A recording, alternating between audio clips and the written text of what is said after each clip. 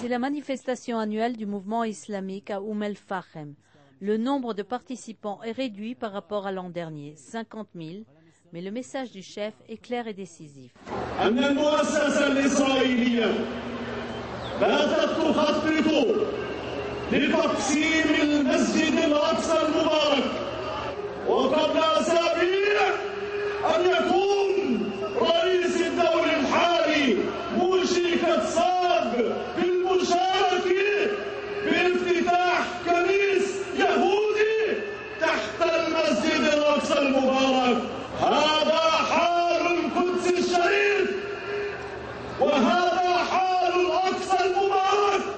Salah ne s'arrête pas là.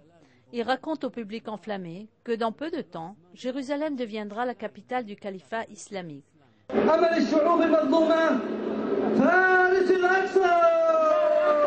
L'image d'un match de boxe entre l'islam et le monde occidental était censée donner au public un message clair.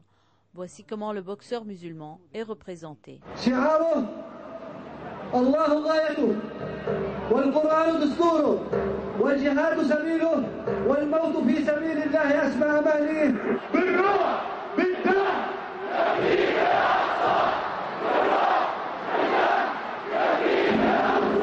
Et voici les règles du jeu. أم كلثوم معك حق الفيتو. الوسائل المسموعة والمرئية والغير ممنوعة والممنوعة حتى تدافع عن نفسك. À